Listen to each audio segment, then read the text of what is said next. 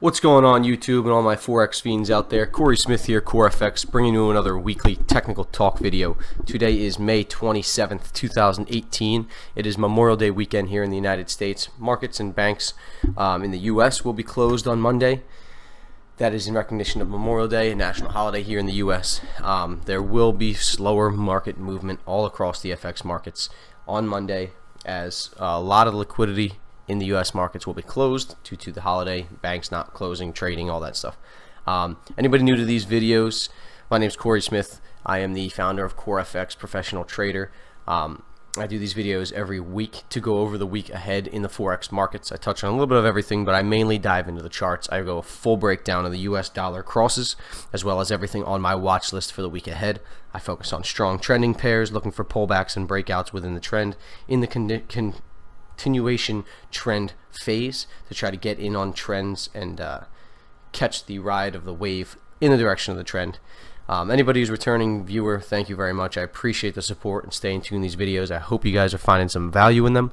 I hope there's something you get out of watching them. And uh, I appreciate you guys tuning in. Make sure you subscribe, like the videos, throw a comment, share any of your feedback. Tell me something you want me to cover to do better that I do good, whatever you want to do, I enjoy the feedback. That is how I can mold this content to be what you guys want to be. So I appreciate you guys taking the time to watch these videos. Check out some of the other content on my page, all kinds of free Forex um, information. So I'm going to go ahead and dive into the charts here. Again, thank you guys. I appreciate tuning in. I'll catch you on the inside.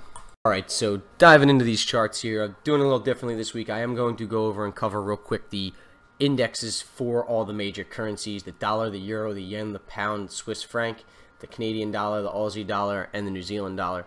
Um, just some interesting stuff setting up in the charts and just wanted to show you guys a little bit of a different look at these markets and these indexes to give you guys a look at what drives the individual currencies rather than the pairs. So this US dollar pair, as you guys know, we violated the downtrend. We broke upwards and we've been on a nice bullish rip ever since. We broke right through the 94 resistance level, psychological resistance, strong level this past week. And we now close with a strong bullish breaking candle. The next target I see in the immediate future is the 95 level. We have NFP coming up this week, non-farm payrolls, job employment reports out of the U.S. the first Friday of every month. Um, June's the new month here on Fridays, June 1st, so we have the NFP numbers for that um, release on Friday. That should be the biggest influencer of the dollar this week. I do think we're due for a little correction. Maybe we push up to 95 and then we get a correction. As you can see, the moving averages are very extended. They're basically straight up the 20. 50 is really strong. 200's flattened out. Looks like it's going to start curving up now. One significant factor I will be watching on this pair is when the 50 crosses the 200 SMA. This is the golden cross. The death cross is when it crosses under it crosses above it is the golden cross. We haven't seen that happen since all the way back here in 2016, back in October. We had the golden cross and the dollar ripped higher for a series of months. Then we had the death cross and the dollar ripped lower, and we haven't seen that cross happen again since then. So that will be a significant occurrence when we see this um, crossover of the 50 and the 200 SMA. That's something I'll be watching for. Not too much conviction in the direction of the dollar this week, bullish trend now. I don't want to sell against the bullish trend, but I do think we have some correction coming, so we'll keep an eye on that. Euro, on the other hand, I do have a little bit more conviction about. As you can see with this black line I've drawn here, this is the strong rip the euro is made to the downside, just as the dollar has been. The euro's been moving in the opposite direction as they're inversely related. As you guys can see right on this um, about 111.50 area, this is where there was a strong demand zone strong support level here in the past. Price has come down to that now with very little correction along the way. We had a few day correction a couple weeks ago, but it's been ripping hard. Moving averages are pretty extended as you can see here. We're coming up on the death cross with this pair, which we haven't seen in a long time. Back here we saw again in October 2016, inversely related to the dollar. Same story. Um, but we're now on this support level. I do think we'll see a bullish bounce from the euro this week. I think we'll see some temporary strength come back to the pair. I think uh, technically we're a little extended and need some correction, but all in all, I do see this pair bearish in the medium to long term for sure. I just think in the shorter term, we're at an area here of support where price is likely to now bounce, at least temporarily. Yen, another one I have a little more conviction about. I do think we're going to be moving to the downside on the yen. We are in this long trading range of about a year, broke out, failed to continue the breakout with follow through, reversed back into it and we're now in about the middle of the range, but we're in a downtrend now, setting lower lows, lower high, lower low, lower high. I do think price is now ready to move lower again, and I'm backing that with fundamental analysis as well as the North Korean summit was in question, being called off last week, and then we saw a little bit of a risk off move. The yen gained some strength, as you can see with these rips higher, but over the weekend we have had um, some verbiage from Donald Trump saying that the meeting is still set to take place, and I believe it's Singapore on June 12th. So that should bring the markets a little bit more uh, that risk on feel, which could give us some weakness in the yen, technically and fundamentally. I'm seeing a weaker yen for this week. Pound, not too much conviction. We're in a nice downtrend now. We violated the uptrend, broke under the 200 SMA, sitting lower highs and lower lows, but we are at a strong support level here at this 129. If I throw a little daily support zone on it, you can see what I'm talking about right there. 129 level. We could see a bounce. Maybe we get back up to 130, 131, 130, 50 area to get in a short to enter this to the downside. Um, but all in all, we are definitely bearish on the pound. However, we need to wait maybe to get in a little better price. Wait for it to bounce a little bit before we really sell into that. CAD, not too much conviction here either. We've had a real choppy chart. As you guys know, I've been saying this is a pretty ugly chart for a while now. You can see we broke below this strong support last week or two weeks ago. Price immediately reversed. We did it again Friday to end this week, so price could now continue the downside. This is structure that we need to break before we can be convicted of it moving lower, and it's now testing that structure and at the bottom of that structure. So we could see this CAD fall off now. Um, a lot of room to the downside if we break below this area, 75, 50 or so. There's a lot of room for CAD to fall off. So this is something we definitely want to be watching. Swiss francs, another one I have some strong conviction about. I do believe this is ready to make a move to the downside again. We've been in this very strong downtrend. We set this dramatic lower low all the way down here, breaking through all these levels, no no hesitation. We have rallied back up now, set a lower high. We got a nice shooting star candle here on this overhead support. I mean, uh, support turn resistance right here around the 95 level. So we broke through it. We've now rallied back up to it. I do believe we're now set to continue this leg lower, and we should see a nice uh, sell-off out of the Swiss franc this week. Again, another thing supporting that is the risk on move that I think we're going to be seeing in the markets this week, as I believe equities are going to rally. Australian dollar, as you guys can see, this is another one I have some conviction on to the downside. We've been in a nice downtrend, lower low, lower high, lower low, lower high, lower low. We've been in a lower high now, a little bit of choppy price action here, but price is definitely ready to make a move to the downside. If we take the last leg of this lower high down to the lower low, throw a Fibonacci on it, you can see we're right at around the 382 to 50 level. This is a golden trend continuation retracement level, a level that I really like to see price come up to. So we have hit that level, made this lower high, and I believe we're ready now to push to the downside again to this uh, lower low at least to retest 74.50, but potentially even continue setting new lower lows. Um, New Zealand dollar. I just wanted to copy and paste it here for you guys onto a PowerPoint slide so I can zoom in a little better. There's no actual chart on TradingView for the New Zealand dollar index futures. Um, but if you go on Finviz's website, you can find it. So here we got a weekly chart. As you guys can see, price has been range bound over a long period of time, all through 2017 and 18. We're at the bottom of this range once again. And as you can see, each time we've hit it, we've bounced. But it is the third plus time to the bottom of this range. We are in a strong downtrend, as you can see. Some of these other moves down to it were a little bit choppier a little bit choppier. This one has been a strong convicted downtrend. So what I think we might see is a little bit of a bounce, and then we possibly could break this support. Taking it to the daily, you can see a little better. Strong bearish momentum candles riding this all the way down. We're now at this bottom. If we see some sort of inverse head and shoulders or double bottom, clear pattern or something setting up showing that this support is likely to be rejected, that'll change our analysis. But at this point, we're in a nice downtrend, lower lows, lower highs, lower low, lower high. We'll see if we can make a lower low or if we rally a little bit, maybe up to 170, and then we push to the downside, and then potentially we can break through this support and push into new territory to the downside. All right, so that covers the um, index pairs for us hopping now into the US dollar crosses. We've starting with the euro dollar. As you guys know, we were we have been in a nice downtrend now. Price has just been falling off, similar to that euro index chart. We are coming down to a very strong support here at around 150 to 160 level.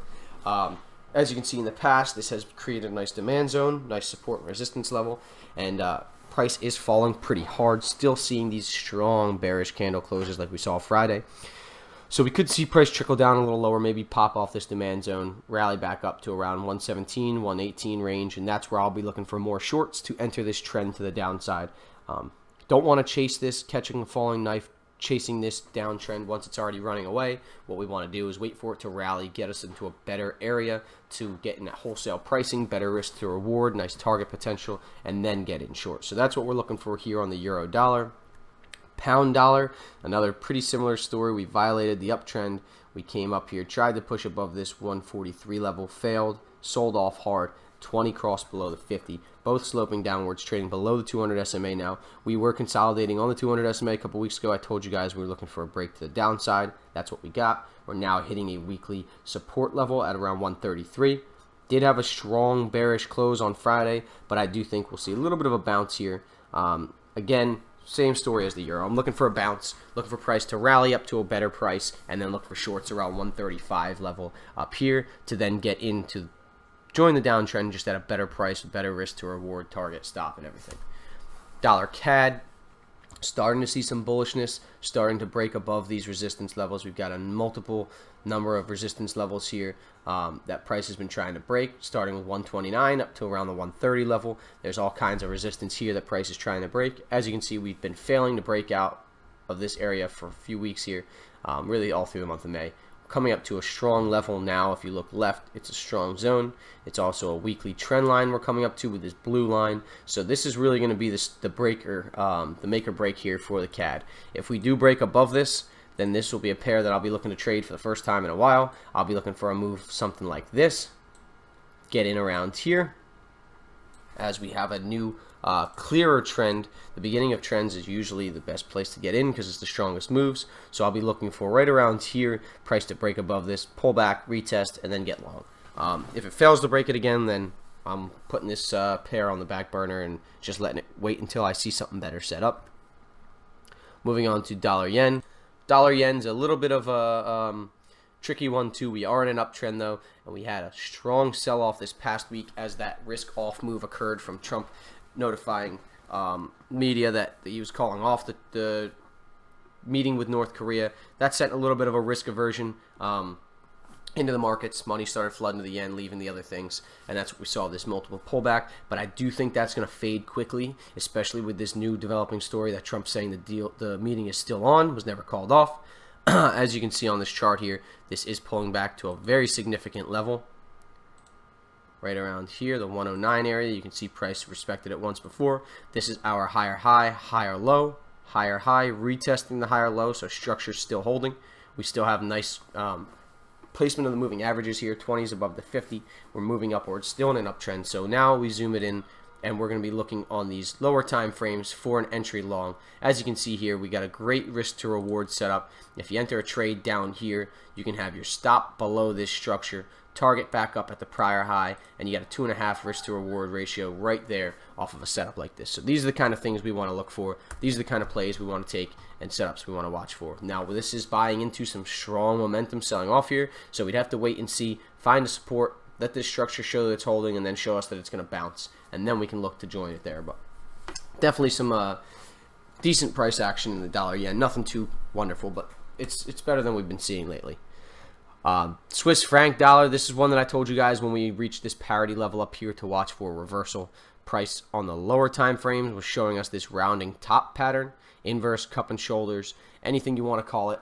Um, we did form this rounding top last week, and price has um, started to sell off. We've got this golden cross though. The 50 has come and crossed above the 200. We are still in an uptrend. We're coming back now to this strong demand level. So although we did get this reversal and bounce off this resistance as we were expecting, it is in a strong uptrend. We have a lot of bullish presence in this market. We have sold off, but I think the buyers are going to return shortly to this pair. Um, I'd be watching for things such as counter trend line breaks. Um, maybe on the four hour daily chart, you look for reversal patterns off of zones such as this. Look for price to bounce and show us that the bulls are returning to the market. Some kind of confirmation you need in your trading plan to show you that uh, pullback is likely coming to an end and you want to be looking for getting back in on a pair long.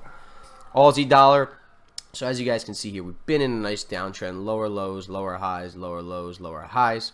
Respecting this downward daily trend line, we broke this upward weekly trend line few weeks ago here. And you can see we set lower lows. We rallied. We had a little bit of an inverse head and shoulders setting up here.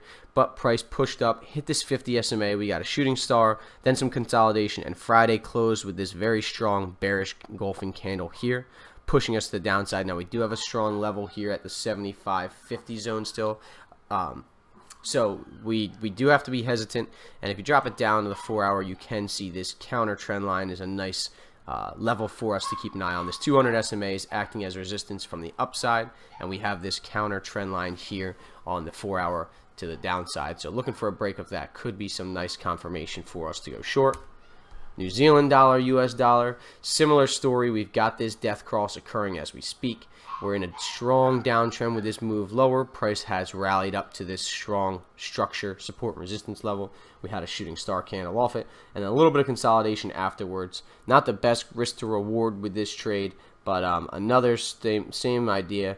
You know, you've got this counter trend line here that price is um, respecting in this rally, and we do see some potential move to the downside. If there's anywhere price is going, in my opinion, with this pair, I would think it would be moving to the downside, back down to around the 68 level, and we'll see if that range can be broken on the New Zealand dollar chart like we've been talking about on the index. That is a direct correlation to this chart here, and that would show this range that we've been in here breaking to the downside, and that's where we could expect some very strong moves. Price comes back down and breaks below the 68 level, expect a very strong sell-off. A lot of people will be waiting for that in anticipation and jumping on to catch that wave to the downside if it does occur. All right, so that covers the US dollar crosses. Now I'm going to quickly hop into my weekly watch list to start the week. My watch list is always dynamically changing depending on what's going on, what pairs are trending, what pairs are in the right setup. So this is what I'll be watching to start this week. We've got the Euro Yen. I really like this pair. We've been in this downward trend channel now, setting lower lows and lower highs. We're at this strong support around 129. Price broke out this past week. As you can see with these four in a row bull, uh, bearish candles, some strong momentum candles. Price is now coming down. We do have some potential room to the downside still, as you see looking left. We do have some uh, space on this chart where there's nothing really to stop price, so we could see this continue to the downside. But if we bounce around the 26 or so, a pullback is what we'll be looking for. So essentially what we'll be looking for in this pair is for price to rally. We want to find a little bit of support here, price to rally. Again, the same premise of we don't want to be chasing a trend. We don't want to try to just jump in because we see price falling. A lot of times our emotions will take over and we will um, make acts like that, take actions like that. Um, but we want to really stay disciplined, stay on our trading plan, and our plan tells us we want to wait for price to rally back up, come back up to a better price, retest this level ideally, and then look for shorts to the downside to continue that next push lower. So Euro Yen is a beautiful level we just broke. It's in a nice trend, moving to the downside. I like um, the euro weakness this week. I do see some weakness in the yen, so uh, that could re that could give us this bounce. The euro, as you guys saw on the index chart, I think it's due for a little bounce as well. So maybe the first couple days this week, or maybe even this whole week, we see a little bit of a bounce in the euro. We come back up to this level, and then maybe the following week or the end of this week, we can find that short to catch us to the downside. But this is a really nice trade setup occurring. something I definitely want to keep an eye on. Swiss franc, Japanese yen. Uh, a little bit of a different story with this one. With this one, we actually have violated our downtrend. We have broken structure, broke above the 50 SMA and the 20. We have pulled back, but we are going to be watching here because this area we've pulled back to is not only a strong level um, support resistance wise, but if we throw a fib out here, it's right on the 50 SMA I mean a 50 Fibonacci bounce on the 20 SMA, retesting this broken downward trend line that it broke to the upside. We had a strong bullish momentum move. This is a very strong indicator that this wasn't just a bounce off of support in a downtrend. This is actually trend reversal looking price action. We have a very strong few week uh, bull rally here price did pull back and we are in between the SMAs. The SMAs didn't fully turn around. They didn't cross yet, but this is the early stage of a trend that we are going to be watching to see if this pair is able to find some bullish pressure and uh, come and move to the upside. If we take it down to the hourly chart, you guys can see a little better where this support is holding. Um, you could kind of throw a trend line in here uh, counter trend line, but looks a little ugly. We have this triple bottom, rounding bottom, cup and handle pattern starting to form here. So definitely a pair we want to keep an eye on and see if it's able to make a bullish presence push off of this uh, trend line that we're now retesting here. Um, next pair I'll be watching is Pound Aussie. Pound Aussie is another beautiful trending pair. Uh, we broke this strong uptrend we were in. We caught this short um, with here at CoreFX. I'm sure some of you guys probably saw it on my Instagram if you're not in CoreFX. Price broke this structure, pulled back, retested here, and then sold off. That was a nice catch that we caught. Price has been ranging since then on on uh, market structure and has now broken the daily trend line. This other level of significant support resistance and had a strong sell-off from there. We're now in a demand zone, created a lower low. I think we'll get a little bit of a rally here and then when next lower high we make with this pair, we want to be looking to get in short. We want to be looking to catch the continuation of this trend and ride the next wave to the downside. With the pound Aussie, pound New Zealand, another similar story. Uh, we're on a significant level right here at around 192, so we do want to see a break of this. We broke this daily upward trend line. We're testing structure, reversing off of these highs, and now seeing the 20 cross below the 50, if we get a little bit of a break of structure here, I'm going to catch a retest back to this zone. This is a very nice uh, support resistance zone if you look left. And it's also created a nice demand zone that the first time price hit bounced off of. This is the second time. It looks like we're blowing right through the level. So we want to watch this to break lower, pull back to retest, and then catch it to the downside as this pound New Zealand could present as a good short opportunity uh, some point in this week if we see that happen. Another one I'm watching is Euro CAD. This is another nice strong trending pair. We've got both moving averages sloping. We're below the 200, below the 20, below the 50. 20 is below the 50. 20 is about to cross the 200. As you can see here, we uh, have been moving lower, and then we did see a nice bounce off the support. We could see a more of a higher bounce, but I'd like to see price potentially come up a little higher. Maybe we test this 200 SMA weekly trend line that was broken now being retested. Taking it down a little bit, you can see um, there has been some bearish presence off of this resistance, so this trend could just continue the downside without rallying higher, but that is something we'll be keeping an eye on. Taking to the hourly, you can see the zone a little better. That price is now double topping off of and reacting to, and we got a little bit of a counter trend line here that's being broken with a strong bearish close on Friday. But another pair that we have on our watch list here, and finally we have the last pair I'm really watching to start this week is New Zealand CAD. Another one, beautiful trend moving averages are, rolled over, prices trading below them, below the 220, below, uh, below the 200, below the 50. 200 is uh, the 20 is below the 50 and the 200. So we have nice moving averages. We're setting lower lows, lower highs, breaking structure. We came and set this lower low. Price is now rallied. We've come up to a nice level to continue this trend to the downside. As you guys can see, with this black counter trend line, we're going to be looking now for a bounce off this level. Potential target all the way down here at 88. Potential stop can be up here at around 90 to 90, 50 range in here.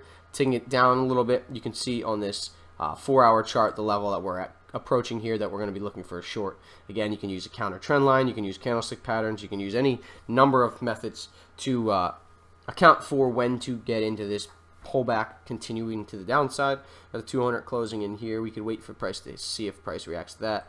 But um, all in all, this is a great setup for a short. I ideally would like to see price um, Sunday, Monday, Tuesday-ish set some kind of daily reversal can candle pattern here. That would give me a great sign that this price is now ready to move to the downside, ready to uh, continue this trend, and ready to let the bears come back into the market as there's been enough of a pullback here to get us in at a great price to join this trend.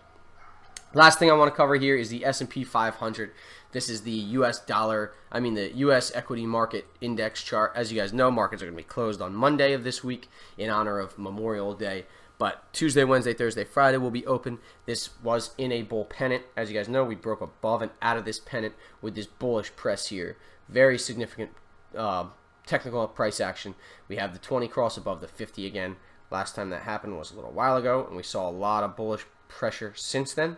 And then we had the 20 cross below it, and then we had some bearish pressure, and now we finally crossed back above it. We broke out of this triangle pattern, and now we have a nice consolidation here. When we see consolidation like this, that tells us that price is likely to make a strong push out of it when it breaks.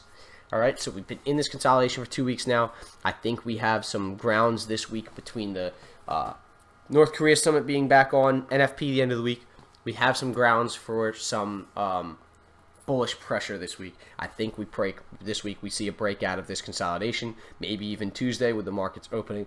Break out of this consolidation and continue to push to the upside, which just does more to convince me that the um, risk on moves could be occurring in this mar- in the markets this week. So I'll be watching for that to occur. If this lines up, I'll be looking for shorting the Swiss franc and the Japanese yen. If it doesn't line up, I'll be looking for if, if it breaks out to the other side and breaks out to the bearish side, then we'll be looking for a strong yen and Swiss franc. But this chart is a big determiner for the risk on, risk off sentiment in the markets. And it's in a significant price action mode right now, so this is definitely something we want to be watching. All right, guys.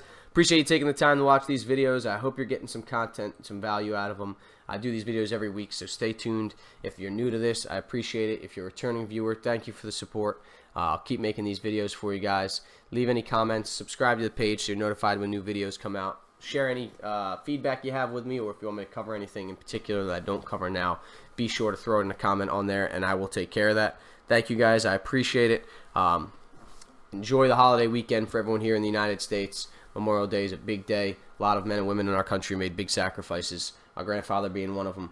Um, a lot of us wouldn't be here today if it wasn't for uh, the sacrifices they've made, and, and a lot of things that are the way they are today wouldn't be. So, all you Americans out there, happy Memorial Day, and um, thank you guys, and I'll catch you guys all next week.